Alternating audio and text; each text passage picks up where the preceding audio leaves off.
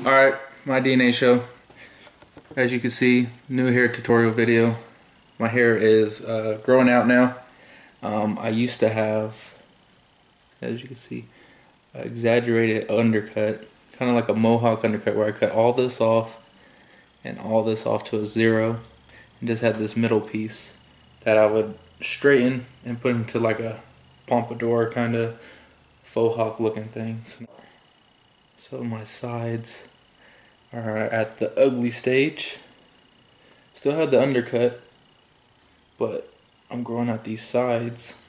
And so instead of cutting my whole top off, um, I just uh, decided to keep the top and hide the ugly part under my curls. So I'm gonna show you guys how I do that today.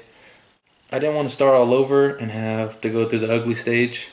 And now that my hair is like kind of crazy long on the sides, I'm at the ugly stage right now where I need to get this top cut. So I'm gonna get it cut probably next week and I'll show you guys a video on that. Um, so this is my natural hair. This is a little damp, just got out the shower. And this long front part, I mean, this part is probably like six inches. I don't know, it's freaking long. So I need to get that cut down. So tutorial today, real quick um, how I make this mess into something decent. I just cut my hair, did a, a bald fade real quick. Um, so yeah, let's get into it. I use my um, heat protecting spray.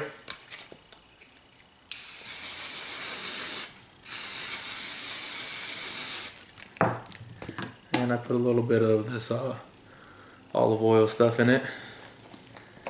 And I use this just to it's like a little conditioner, moisturizer.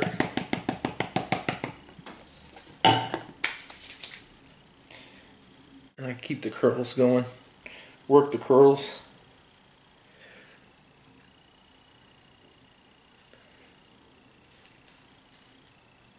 And then take my blow dryer.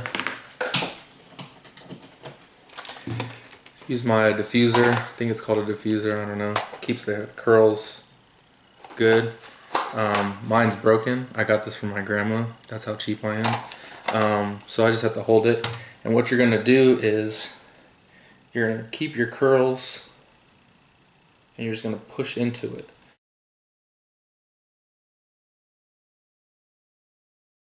Alright, so once you get it to the the curls that you want and how you want it to stand, um, just put a little bit of hairspray in it.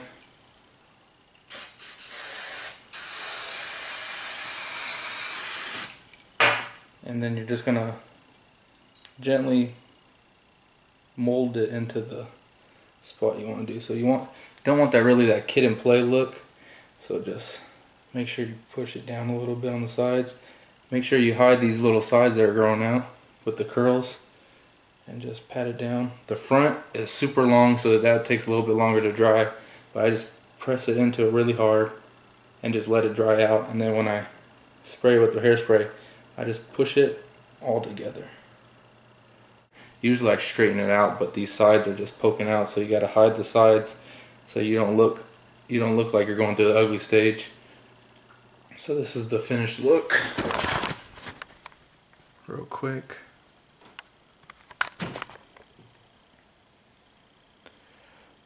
So you can see the undercut.